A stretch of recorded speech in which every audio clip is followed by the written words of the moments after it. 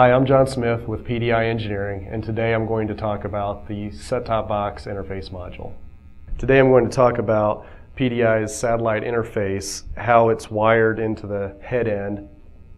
There are lots of different ways uh, that it can be uh, integrated into your head end system, um, and it can even be used discretely, um, not in a head end. Uh, so I will get into all the different scenarios of how a satellite interface can be used in your system and how it's wired in. The D12 is used commonly because it's economical and that it has an amplified RF output that can be home run to the television. So I want to talk about how the, the, the most simple form of uh, wiring at the head end will show the equipment here on the table just so you can see it. This is the 772, the PDI 772HE 10 tap power supply. So for every 10 um, arm mounted televisions, you'll have one of these in the head end. And then this is the satellite interface. You'll have one of these for each television.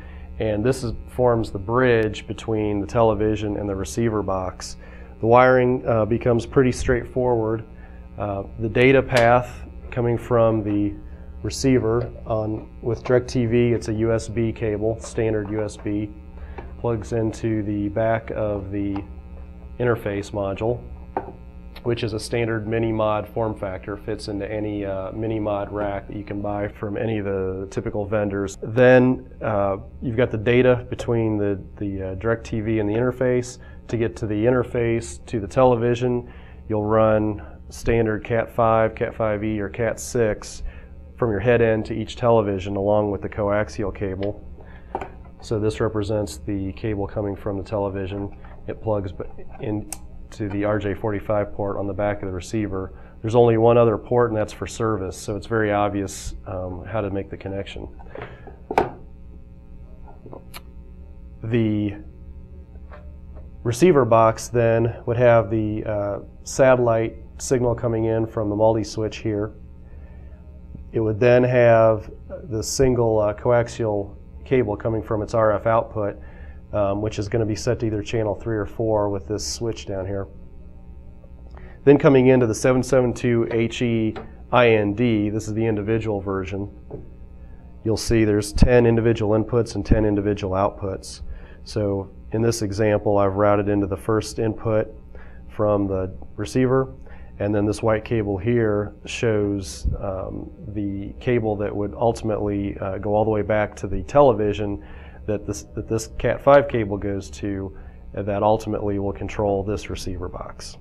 So I just described the basic setup for a satellite interface uh, which allows the patient full access to all of the satellite channels. If your facility has additional in-house channels that may consist of a DVD player or multiple DVD players, a rooftop antenna, uh, or a uh, computer system or any other sort of video source that's easily integrated in, into the system. The way that works, uh, this DVD player here represents your in-house channel, your in-house DVD player.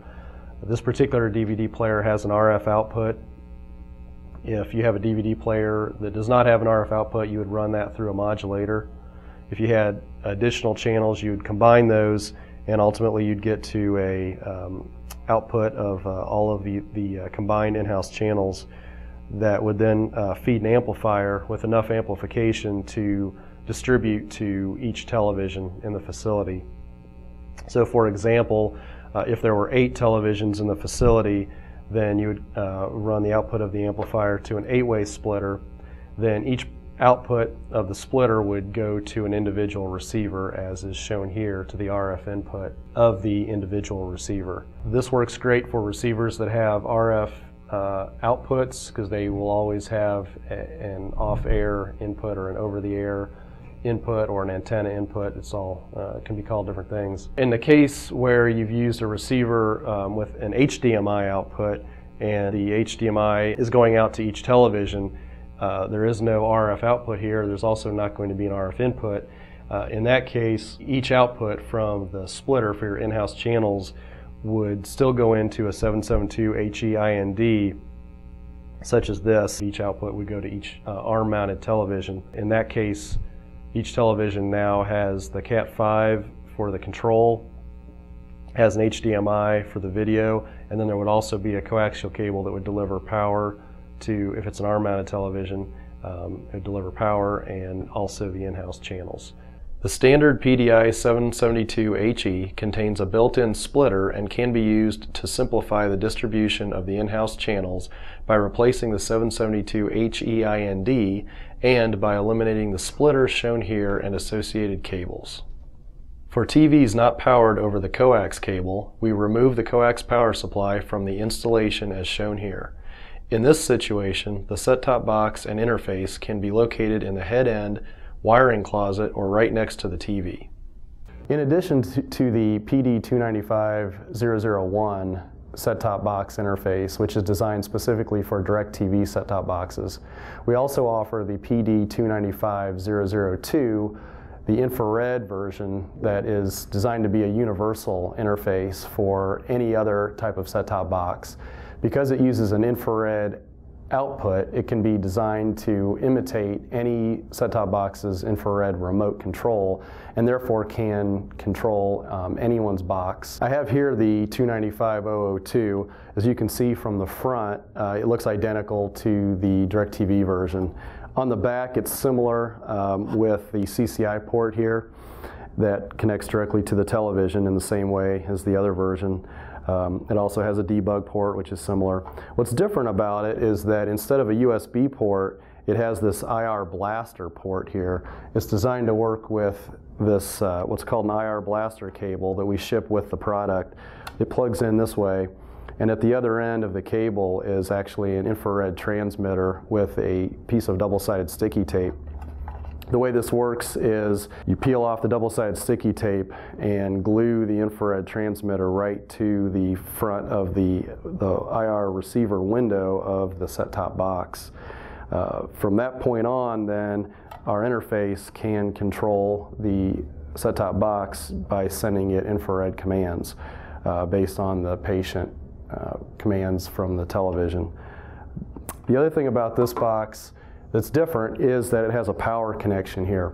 It's designed to work with the standard mini-mod power module that would come with a, a, a standard mini-mod rack. If you're using this as a standalone, not in the mini-mod rack, we also offer a individual power supply that just plugs into the wall and then on this end plugs right into the product like so. Now the 295-002 can be used uh, in, a, in the case where uh, it wants to, you want to uh, place it next to the television with the set-top box, and if you're not using a, a head-end system and all the set-top boxes are next to the television, then this is a great way to um, not have to buy a mini-mod rack and, and do extensive cable runs.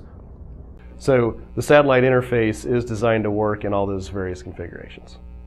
Thank you for joining me today. Please check back often for more tutorials about PDI products.